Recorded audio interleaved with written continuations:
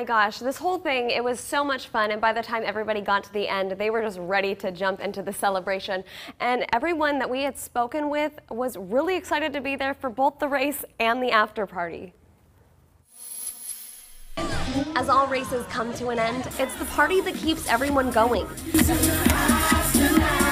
The Big Sur International Marathon ends at Marathon Village in Carmel. Whether racers are here to finish the day with a dance party or enjoying a massage for those after a long run. The girl at the massage booth saved my life. My legs were hurting. Uh, great. It's really great to have that. All competing for different reasons.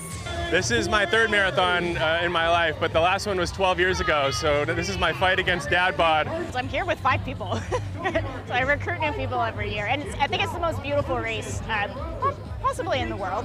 Some still running even if their group can't make it. Sarah got pregnant, and she gave birth to her first kid three days ago. Juniper. Juniper.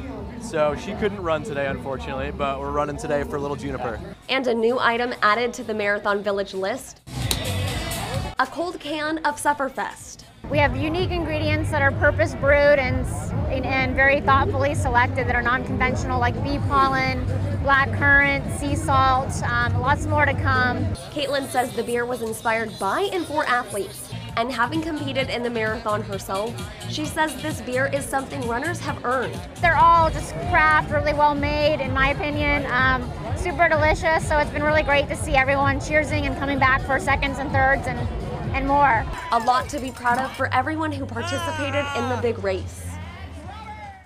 And everyone that we spoke with actually said that they were very excited for next year. And you know, being out there with our photographer, Rosie, it really makes both of us very eager and excited to want to actually join this next year. So Christopher, if you're in, uh, let's make a team and get out there next She's year. She's dragging me into this. You know what?